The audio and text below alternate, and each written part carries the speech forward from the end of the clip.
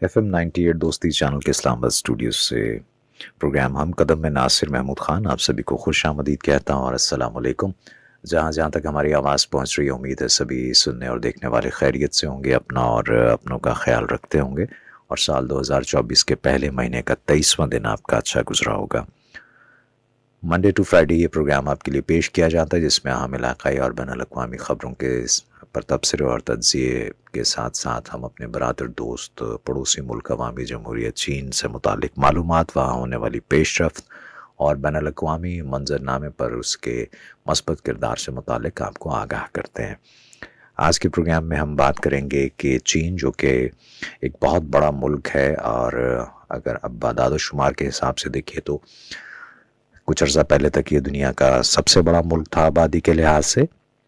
لیکن اب یہ آبادی کے لحاظ سے دوسرے نمبر پر آ گیا ہے، محض کچھ تھوڑے سے فرق کے ساتھ بھارت جو ہے وہ اس کی آبادی اب چین سے بھی زیادہ ہو گئی ہے، لیکن اس پہ ہم پھر کبھی بات کریں گے کہ آبادی کا زیادہ ہونا جو ہے وہ کیا اس کو ہم کوئی کوالیفیکیشن مان سکتے ہیں کسی کی یا نہیں؟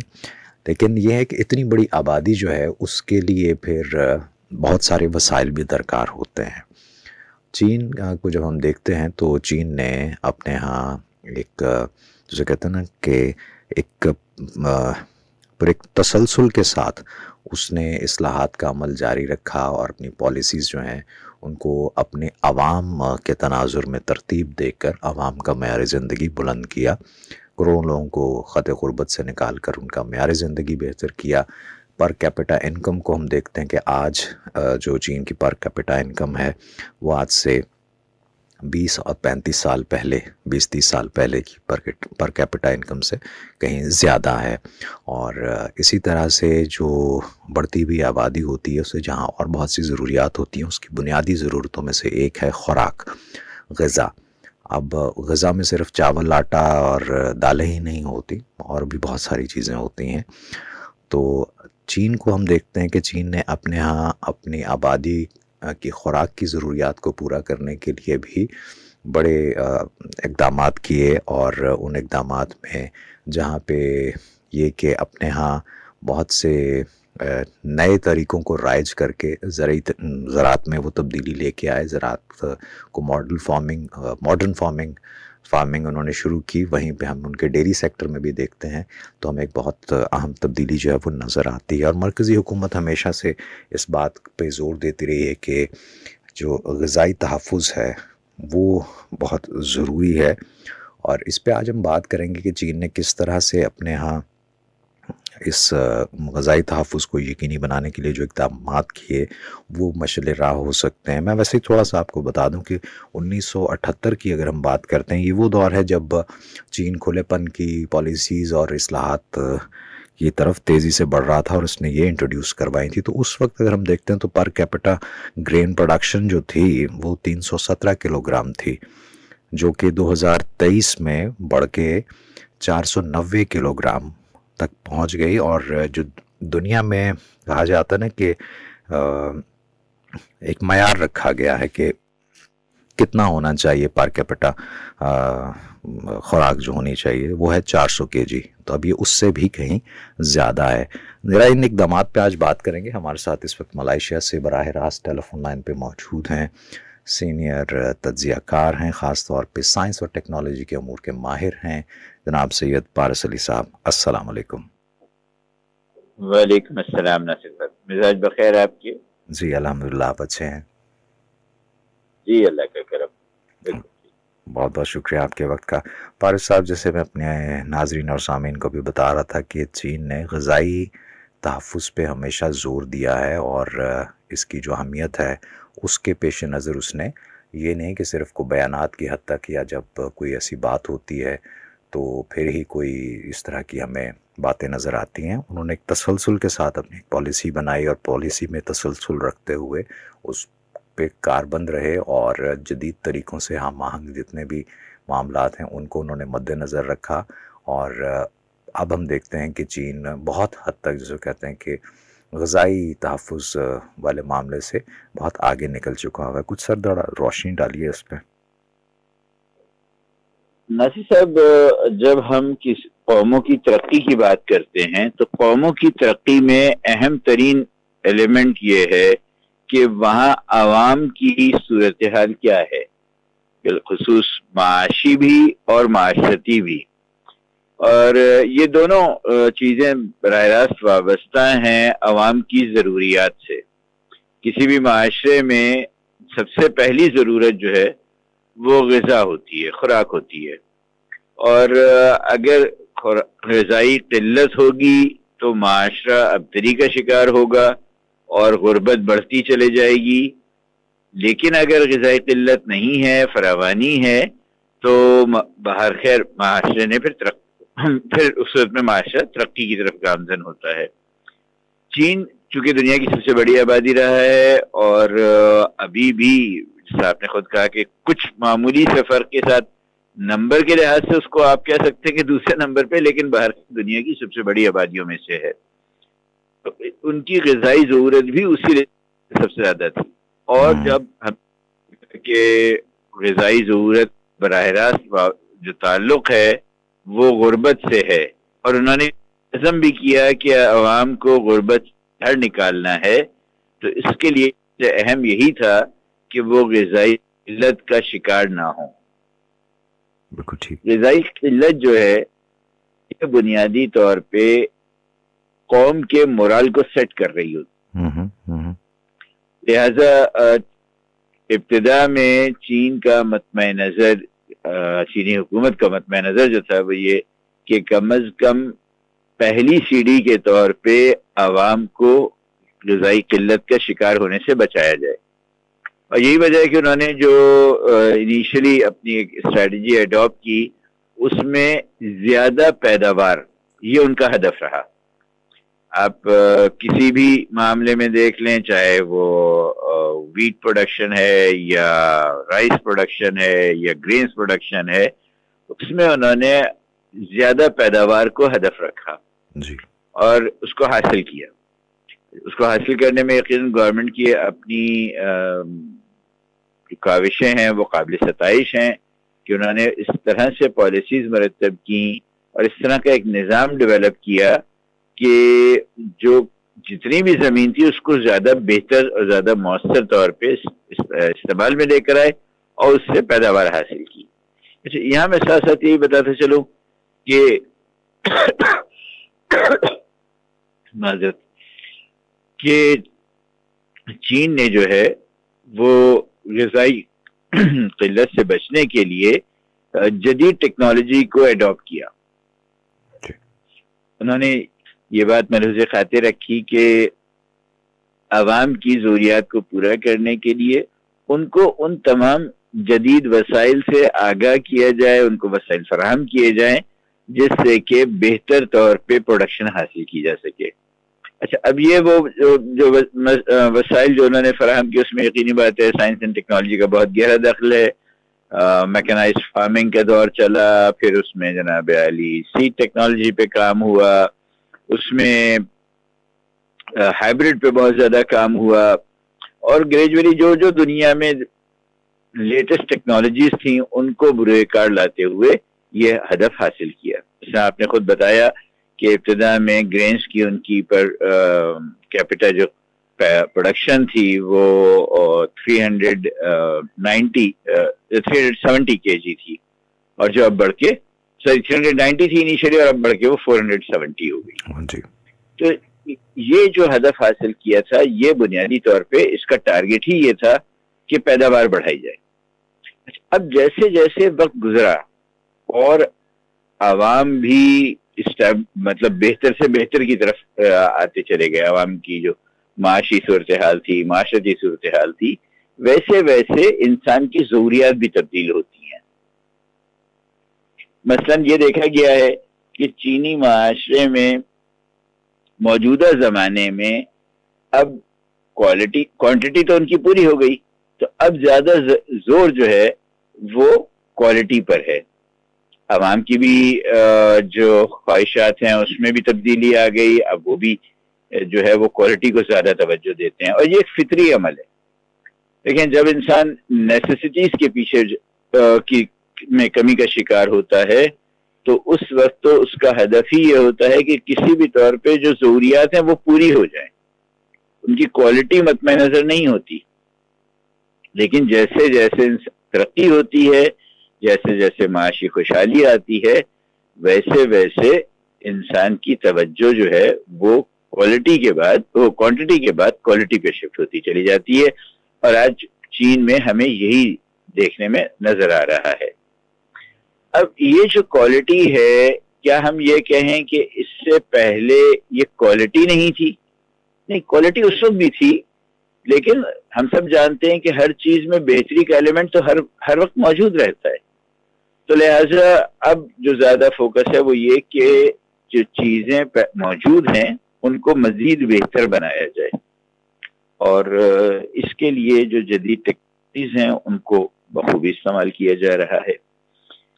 یہاں جب ہم دیکھتے ہیں کہ سائنس اینڈ ٹیکنالوجی انہوں نے ایسا کیا کیا یا وہ ایسا کر رہے ہیں جس کے سبب ان وہ کوالٹی کو فوکس کر رہے ہیں، تو ہمیں جو چند سیدھا سیدھا میں کہوں کہ اقدامات نظر آتے ہیں۔ اس میں ایک تو جدید ٹیکنالوجی کا استعمال ہے۔ مثلاً چین میں اس وقت اگر فارمر کے لیول پہ ہم دیکھیں تو سب سے پہلا عمل ہوتا ہے گراؤنڈ لیولنگ۔ اس کے لیے جو انہوں نے ٹیکنالوجیز یوز کی مثلا لیزر ٹیکنالوجی کا استعمال کیا اور اب وہ وہاں بہت کامن ہے۔ اگر آپ کمپیئر کریں چین کی فارمنگ پریکٹسز کو دنیا کے دیگر ممالک کی فارمنگ پریکٹسز سے، تو ہمیں وہاں پہ ٹیکنالوجی کا استعمال زیادہ نظر آتا ہے۔ اور چین کو جو ایک ایج حاصل تھا، وہ یہ کہ چین میں جو روایتی نالج ہے وہ گزشتہ چند صدیوں پہ محیط نہیں ہے بلکہ وہ ہزاروں سالوں پہ محیط ہے۔ کہ جہاں جس میں انہوں نے روایتی جو دانش تھی اس کو انہوں نے مزید آگے بڑھایا اور اس کو امپروو کرتے چلے گئے۔ تو نتیجہ یہ کہ ان کو وہ اہداف جو وہ سیٹ کرتے تھے وہ حاصل ہوتے چلے گئے۔ اچھا غذائی غذائی پیداوار میں ایک اور اہم عنصر یہ ہوتا ہے کہ جو پروڈیوسر ہے، جس کو ہم مرشد میں کہنا کہ جو فارمر جو ہے، وہ جتنا مطمئن ہوگا، اتنا وہ زیادہ بہتر پروڈیوس کر سکتا ہے۔ چین میں ایک بہت اچھا نظام فارمنگ کمیونٹی کے حوالے سے رائج ہے کہ وہاں پہ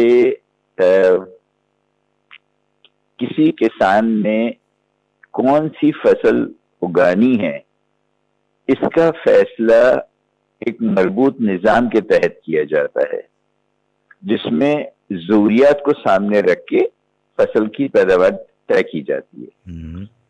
مثلا ہم نے پہلے بھی انہیں پروگرام سے تذکرہ کیا کہ عموماً ہم اگر بات کریں پاکستان کی بھی ہم بات کر سکتے ہیں انڈیا میں یہ مسائل زیادہ دیکھنے میں نظر آتے ہیں کہ وہاں پہ ایک بھیڑ چال چلتی ہے۔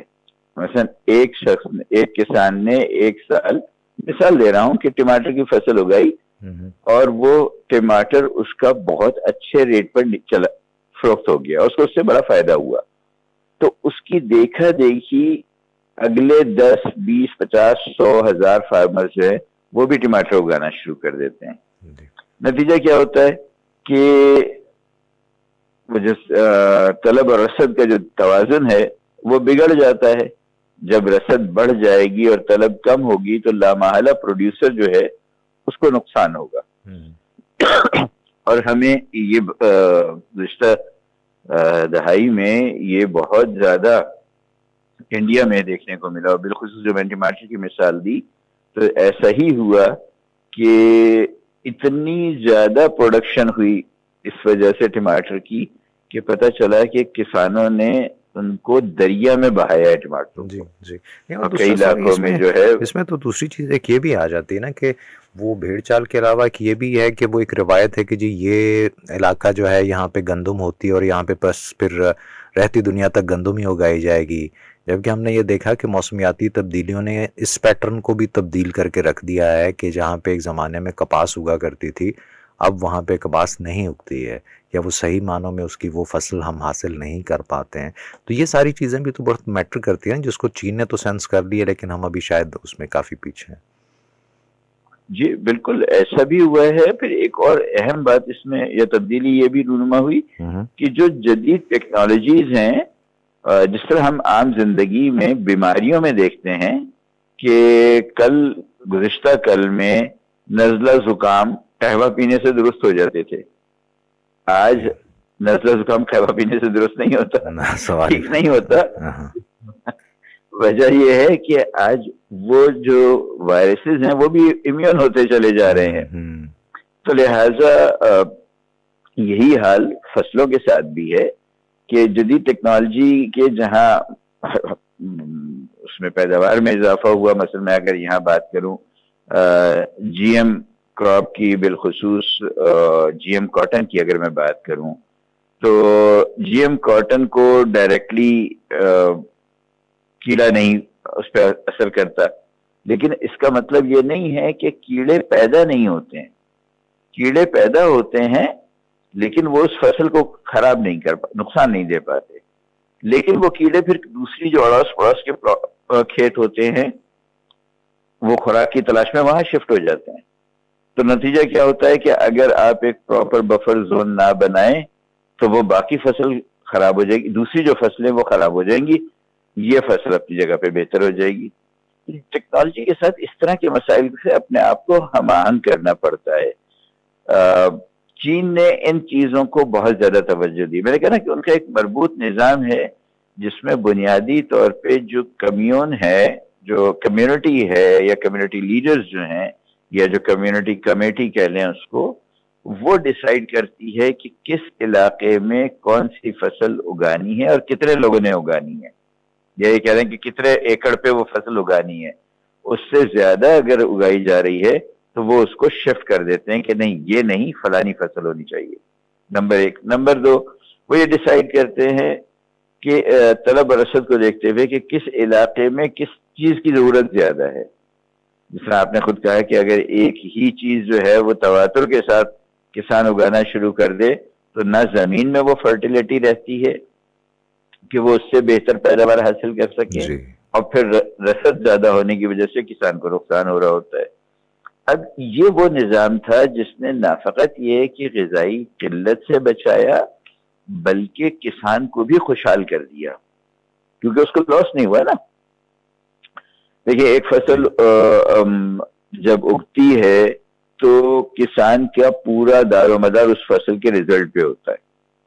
اگر وہ فصل اچھی ہو جائے گی تو وہ اگلے سال اس سے بہتر پروڈکشن کر سکتا ہے۔ لیکن اگر وہ فصل بری ہو جائے گی تو وہ زیر بار ہو جائے گا۔ اور یہ پوری دنیا میں یہی نظام چل رہا ہے کہ وہ بہتر ہوگی تو اچھا پروڈیوس کرے گا، اگلے سال بھی اچھا پروڈیوس کرے گا۔ خراب ہوگی تو پھر وہ تواتر سے ڈاؤن فال کا شکار ہو جائے گا۔ دوسرا جو ایک بڑا مسئلہ دنیا کو فیس کرنا پڑ رہا ہے وہ یہ کہ وقت گزرنے کے ساتھ ساتھ زرعی زمین میں کمی ہوتی چلی جا رہی ہے۔ معذرت چاہوں گا میرا گلا تھوڑا سا خراب ہے۔ کوئی بات نہیں تو وہ جو زرعی زمین میں زرعی زمین میں جو کمی ہوتی چلی جا رہی ہے اس کی وجہ سے پیداوار متاثر ہوتی ہے۔ جہاں پہ جن جن اقوام نے اس مسئلے کو سمجھتے ہوئے اس کمی کو پورا کیا زیادہ پیداوار سے، وہاں وہاں انہیں کامیابی حاصل ہوئی۔ چین نے بھی ایگزیکٹلی یہی کام کیا کہ انہوں نے کم ہوتی زرعی زمین کے کو دیکھتے ہوئے اپنے ہاں جو دیگر جو پروڈکشن تھی، اس پہ زیادہ زور دیا اور کم زمین سے زیادہ پروڈکشن پہ کام کیا۔ تیسرا اہم ایلیمنٹ جو تھا، وہ ہے ٹیکنالوجی کا استعمال۔ اسپیشلی جو ایگریکلچرل ٹیکنالوجیز ہیں، ان کا استعمال مشینری کا استعمال۔ چین میں یہ عمل اتنا زیادہ بڑھا ہے کہ آج وہاں پر چھوٹے چھوٹے لیول پہ چھوٹی چھوٹی مشینریز وہ انوویٹ کی گئی ہیں۔ اس سے کیا ہوا کہ مثلا ہم یہ کہیں کہ ہارویسٹنگ کے لیے گندم کی کٹائی کی اگر ہم بات کریں تو اب یہ نہیں ہے کہ آپ کو ہر جگہ بڑے بڑے فریشرز مل جائیں گے۔ نہیں، لوگوں نے اپنے اپنے علاقوں کی مناسبت سے چھوٹی چھوٹی مشین تیار کی ہوئی ہیں۔ اور یہ ہم کہتے ہیں کہ جو الائڈ انڈسٹری تھی ایگریکلچر کی، وہ ڈیولپ ہوتی چلی گئی۔ لیکن میں ایک وقت میں دیکھ رہا تھا کہ پاکستان ایک زرعی ملک ہے، یہ ہم نے طے کر لیا تھا۔ اور اس کے بعد ہم نے اپنی تمام توجہ جو ہے، وہ زرعی پیداوار کو بڑھانے پہ لگا دی۔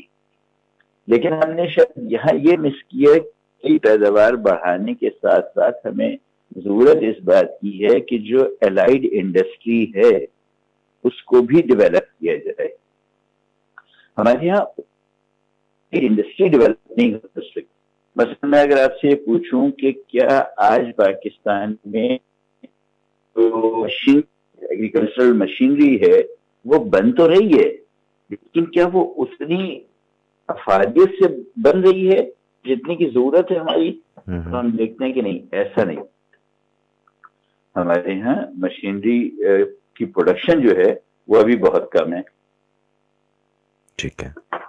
اس سبب ہمارا جو فارمر ہے اس کو ابھی بھی محتاج ہے کہ روایتی جو طریقے ہیں ان کے ذریعے وہ اپنی پروڈکشن جو ہے وہ بڑھائے۔ ٹھیک۔ اچھا پارس صاحب ایک چھوٹا سا بریک لے لیتے ہیں۔ بریک سے جب واپس آتے ہیں تو پھر اس پہ مزید گفتگو یہیں سے شروع کرتے ہیں۔ جی ہمارے سے ٹیلی فون لائن پہ موجود ہیں ٹیک ایکسپرٹ سید پارس علی صاحب اور بات ہم کر رہے ہیں کہ چین نے اپنے ہاں کس طرح سے ٹیکنالوجی کے استعمال کو کی مدد سے انہوں نے غذائی تحفظ کو یقینی بنایا ہے اس پہ مزید بات کریں گے ایک چھوٹے سے بریک کے بعد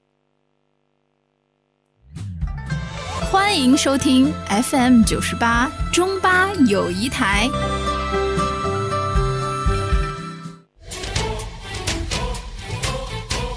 ترقی سے جڑی ہے خوشحالی اور نسلوں کی خوشحالی کی ضامن چین، پاکستان اقتصادی راہداری۔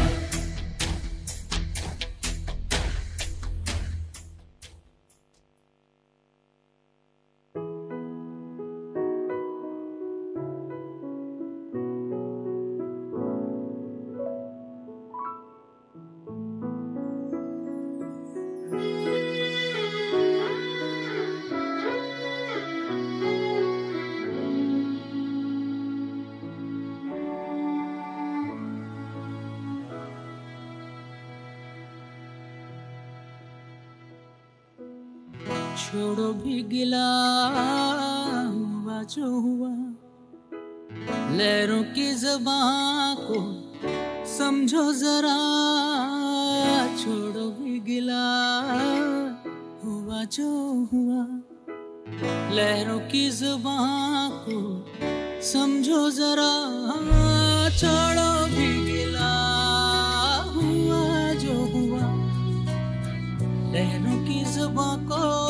سمجھو سمجھو کیا کہتی ہے ہوا پر چھوڑو بھی گلا ہوا جو ہوا لہروں کی زبان کو ذرا سمجھو سمجھو کیا کہتی ہے ہوا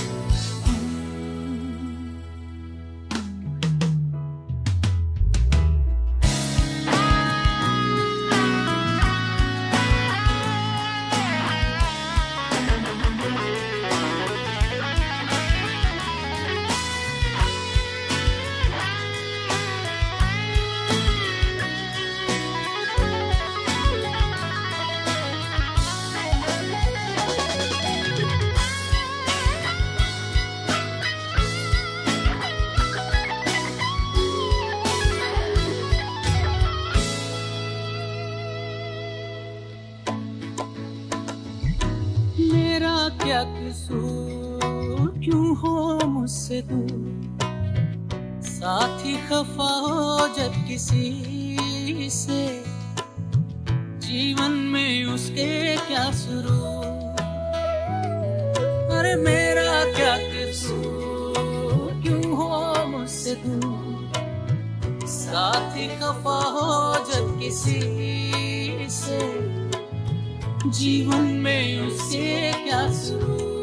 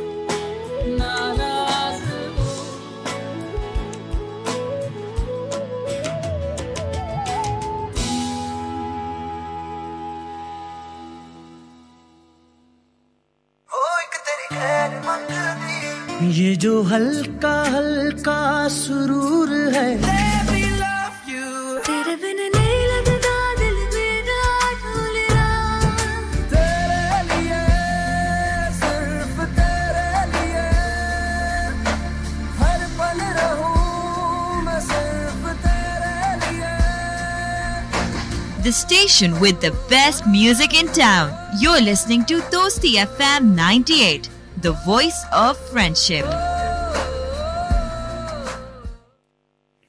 جی ویلکم بیک پروگرام آپ تک پہنچ رہا ہے۔ ہم قدم F M ninety eight Dosti channel کے اسلام آباد اسٹوڈیو سے، مجھے کہتے ہیں ناصر محمود خان ہمارے ساتھ ملائیشیا سے ٹیلی فون لائن پہ براہ راست موجود ہیں۔ ٹیک ایکسپرٹ سید پارس علی صاحب، بات ہم کر رہے ہیں کہ چین میں غذائی تحفظ کے لیے جو چین نے اقدامات کیے، خاص طور پہ اس نے اپنے ہاں جدید طریقوں کے استعمال سے اپنے زیر کاشت کم زیر کاشت رقبہ رقبے پہ زیادہ فصلیں کاشت کرنے اور زیادہ پیداوار حاصل کرنے کے جو اقدام کیے اور کس طرح جو موسمیاتی تبدیلیاں ہیں ان سے بردازمہ ہوتے ہوئے انہوں نے اپنے ہاں زراعت جو ہے اس کو جدید خطوط پہ استوار کیا ہے۔ اچھا پارس صاحب، ایک ابھی جیسے آپ ابھی بات کر رہے تھے کہ انہوں نے جدید تک ٹیکنالوجی جو ہے اس کو استعمال میں لے کے آئے۔ اس میں چاہے وہ ہائبرڈ بیج جو ہے، ان وہ بھی ہمیں نظر آتے ہیں، ساتھ ہی ساتھ جینیٹیکلی ماڈیفائڈ بیج جو ہیں، وہ بھی سامنے آئے۔ ہاں، لیکن اس کے ساتھ ساتھ جو ایک روایتی طریقہ ہوا ہوا کرتا تھا، ہل چلانے کا، بیج بونے کا، کھاد ڈالنے کا، پھر فصلوں پہ سپرے کرنے کا، پھر اس کے بعد اس کی جو برداشت ہوا کرتی تھی، جو فصلوں کی جو کٹائی تھی، ان روایتی طریقوں میں بھی ہمیں بہت ایک انقلابی تبدیلی جو ہے وہ نظر آتی ہے۔ کچھ تھوڑا سا وہ بتائیں کہ کیا اقدام کیے، انہوں نے کیا تبدیلیاں لے کے آئے؟ جی یہ جو ایگریکلچر پروڈکشن ہے، اس میں ایک اہم کردار جو ایک اہم کردار ہے، وہ ہے کہ پودے کی جو گروتھ کا جو میٹابولزم ہے، اس کو کنٹرول کرنا۔ مثلا ہم بخوبی ہمارا، ہم سب کا ایکسپیرینس ہوگا اس معاملے میں کہ بہت ساری خوراک کے استعمال کی چیزیں ایسی ہوتی ہیں جو اپنے حجم میں نارمل سے بڑی ہوتی ہیں، لیکن ان میں وہ ٹیسٹ وہ کہہ لیجیے کہ غذائیت ان میں کم ہوتی ہے۔ بس میں کہوں کہ ہر ایک کا اس بارے میں ایکسپیرینس رہا ہوگا کہ خاص سائز کا اگر آج کل سیزن چونکہ سٹرس کا ہے، تو ہم اگر اسی کی بات کر لیں گے، کینو وغیرہ، خاص سائز کا ہوتا ہے، وہ زیادہ لذیذ ہوتا ہے، جب اس سے ایکسٹرا آرڈنری سائز بڑا ہو جائے، تو پھر اس کی لذت کم ہو جاتی ہے اور اس میں غذائیت بھی کم ہو جاتی ہے۔ جی، یہ جو میٹابولزم بیلنس ہے کہ پروڈکشن کو بھی مینٹین کرنا ہے اور اس کی غذائی افادیت کو بھی مینٹین کرنا۔ چائنا نے اس میں بہت کام شروع کر دیا ہے۔ تاکہ یہ کہ ہم نے پہلے اس سے میں بات کی نا کہ انہوں نے جو غذائی ضرورت تھی، پہلے ٹارگٹ انہوں نے اس کو کیا۔ اور اب وہ اس چیز کو ٹارگٹ کر رہے ہیں۔ اس کے لیے انہوں نے ہر وہ طریقہ استعمال کر رہے ہیں جو عوام کی پہنچ میں بھی ہو۔ لیکن بہت دفعہ ایسا ہوتا ہے کہ ہم ہمارے پاس جدید ٹیکنالوجیز اویلیبل ہوتی ہیں، لیکن ان کو عوام کی دسترس میں لانا ممکن نہیں۔ مثلا میں آپ سے کہوں کہ پاکستان کا جو ایگریکلچرل سیٹ اپ ہے، تو اس میں ہمیں میجر شیئر جو ہے وہ اسمال فارمرز کا نظر آتا ہے اسمال لینڈ ہولڈرز کا نظر آتا ہے۔ کیا چھوٹے کسان کے لیے یا اس کے لیے، زمیندار کے لیے میکنائزڈ فارمنگ کو اڈاپٹ کرنا ممکن ہے؟ تو یقیناً آپ کا جواب اس میں یہ ہوگا کہ نہیں، وہ کیونکہ اس کی زمین کا رقبہ اس مشین کی پروڈکشن سے کم ہے۔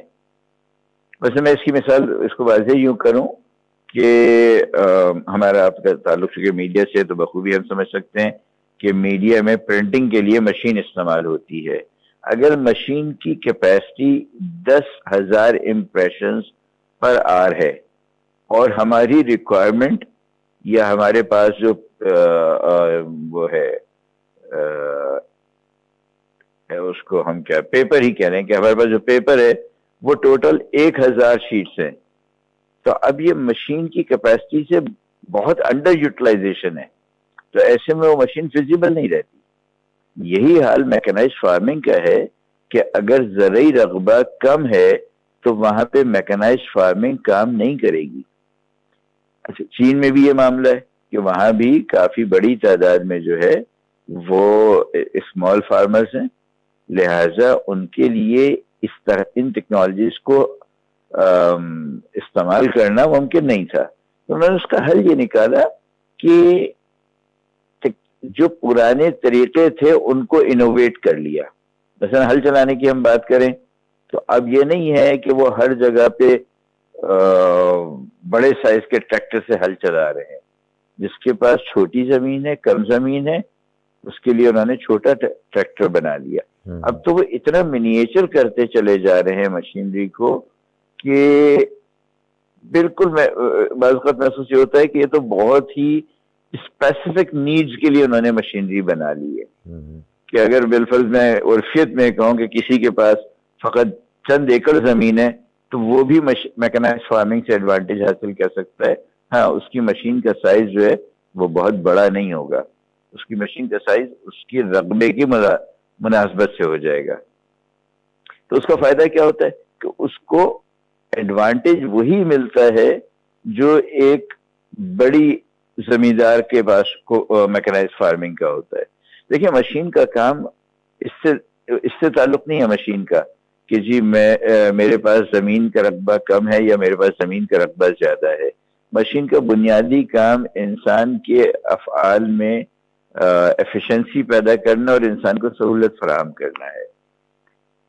اب بڑی مشین سے چھوٹی جگہ پہ کام کرنا، مشین تو نے تو کام کرنا ہے، لیکن وہ جب انڈر انڈر یوٹیلائز ہوگی تو وہ فائدے کی بجائے نقصان دہ ہوگی۔ لیکن اگر اپروپریٹ یوز آف ٹیکنالوجی کیا جائے تو یقینی بات ہے کہ پروڈکشن بھی بڑھ جاتی ہے۔ تو یہی کام چین نے کیا، جس کی وجہ سے آج وہاں پہ چپے چپے میں روایتی طریقوں کو استعمال کرتے ہوئے میکنائز فارمنگ کی جا رہی ہے۔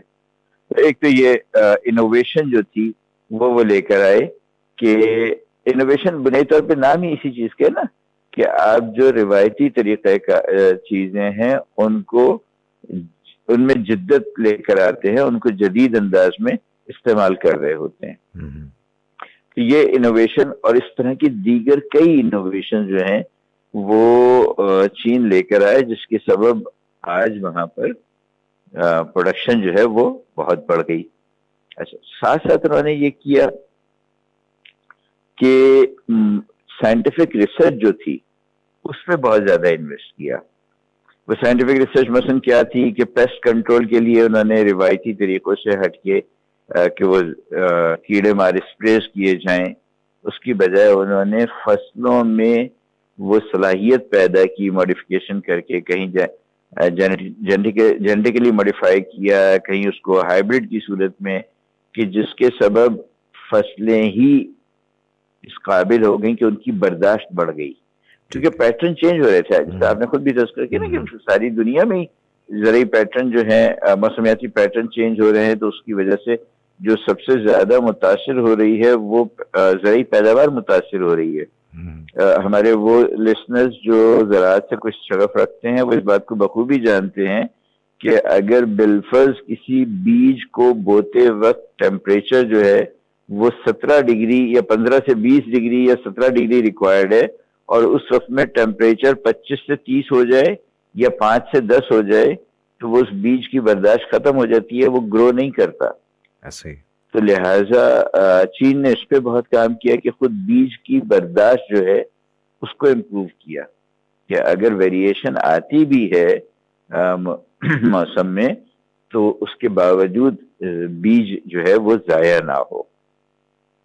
پھر جو جدید ٹیکنالوجیز ہیں بالخصوص ڈرون ٹیکنالوجی ڈرونز کا استعمال۔ چین میں زراعت کی- زرعی شعبے میں ڈرونز کا استعمال بہت زیادہ ہو رہا ہے۔ یہ ڈرونز اب بیج بونے کے عمل میں بھی حصہ لے رہے ہیں۔ یہ ڈرونز فصلوں پہ اسپرے میں بھی حصہ لے رہے ہیں۔ اور اب تو یہ اتنی کہہ لیں کہ پرسیجن میں کام کر رہے ہیں کہ پہلے تو ہوتا نا کہ اکثر ہم سب نے دیکھا ہے کہ جی جو اسپرے کیا جا رہا ہوتا تھا تو وہ بس اگر اس سے بھی کیا گیا ہے جہاز سے بھی جو وہ ہوتے چھوٹے چھوٹے جو جہاز ہوتے ہیں اسپرے کے لیے، ان سے بھی اسپرے کیا جا رہا ہے، تو وہ ایک بوچھار کی جاتی تھی اور وہ سب جگہ پہ اسپرے ہوتا چلا جاتا تھا۔ کہیں پہ تھوڑا کم ہوتا تھا، کہیں پہ تھوڑا زیادہ ہو بھی ہو جاتا تھا۔ لیکن یہ جو ڈرونز ہیں، یہ اتنی ایکوریسی کے ساتھ، اتنی ٹارگیٹڈ کام کرتے ہیں کہ ایک ایکول لیئر یہ بچھا رہے ہوتے ہیں۔ تو لہذا اس سے زرعی پیداوار پہ بہت زیادہ اثر پڑا اور وہ ایک بہتر بہتری کی صورت پیدا ہوئی کسان کے لیے۔ پھر جو موجودہ زمانے میں ایک بہت کامن ٹرم یوز کی جاتی ہے پریسیجن ایگریکلچر اس حوالے سے جب ہم دیکھتے ہیں تو اس میں بھی چین نے بڑا کام کیا ہے۔ مثلا جو لیٹسٹ ٹیکنالوجیز ہیں آرٹیفیشل انٹیلیجنس ہے بلاک چین ہے اور ڈیٹا انالیٹکس ٹولز ہیں ان کا استعمال انہوں نے وہ کر رہے ہیں۔ اور اس کی سبب کیا ہوا کہ ایک تو ٹرانسپیرنسی بہت بڑھ رہی ہے۔ دیکھیں جیسے جیسے دنیا میں تبدیلیاں آ رہی ہیں ویسے ویسے ہم اب ایک بار پھر پہلے سنتھیٹک کی طرف ہم آرگینک سے سنتھیٹک کی طرف شفٹ ہوئے تھے اور اب ہم دوبارہ آرگینک کی طرف شفٹ ہو رہے ہیں۔ جی۔ اس عمل میں کہ اب یہ دوبارہ ہم آرگینک میں یہ جاننا کہ کیا یہ واقعی آرگینک ہے؟ یہ بہت ڈیفیکلٹ کام ہے۔ کہ آیا اس چیز کی پروڈکشن میں تھرو آؤٹ اس بات کا خیال کیا گیا ہے کہ آرگینک انداز میں اس کو ڈیولپ کیا گیا ہے تو یہاں پہ بلاک چین کا بڑا رول ہمارے سامنے نظر آتا ہے کہ بلاک چین ایک ایسی ٹیکنالوجی ہے کہ اس میں جب آپ انفارمیشن سیو کرتے ہیں تو پھر آپ اس انفارمیشن کو ڈیلیٹ نہیں کر سکتے۔ تو اگر بالفرض میں ایک فصل تیار کر رہا ہوں اور میں نے پہلے اسٹیج پہ جو بیج بویا ہے وہ تو سنتھیٹک ہے۔ لیکن اس کے بعد نہ میں نے اس پہ ایک مثال میں دے رہا ہوں کہ نہ میں نے اس پہ فرٹیلائزر یوز کیے نہ میں نے اس پہ